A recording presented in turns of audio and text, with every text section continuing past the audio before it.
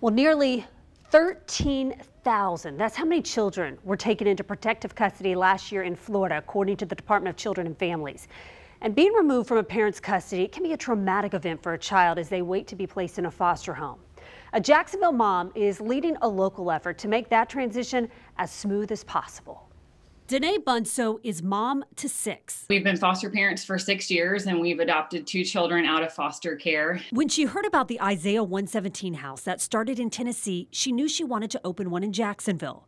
She's now working to make that a reality, raising awareness and support for the home that will serve children in Northeast Florida coming into foster care on removal day while they wait to be placed with a family we are in what's called the expansion phase, and we are the first one in the state of Florida. The need is great. In 2020, she says 700 children came into the foster care system in Duval County. It comes down to it. Um, people not familiar with the foster system. What does this house mean to these kids who are in these situations? A lot of people don't know about removal day or what happens on removal day. A lot of these kids end up waiting in offices and they just kind of are waiting for the caseworker to find that fit of a placement for them.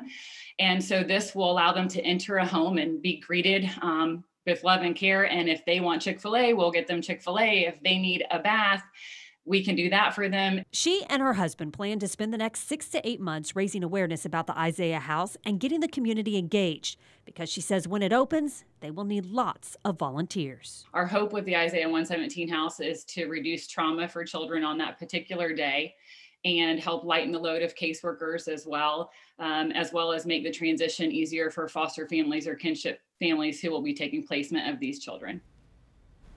Now, she told me she doesn't yet know where the Isaiah house will be located in Duval County and if it will be new construction or an existing home. But if you're interested in getting involved, the first information session and community kickoff event will be this Sunday. That's March 21st at 5 p.m. at Emmaus Church. That's near Beach Boulevard and Kernan Road in Jacksonville.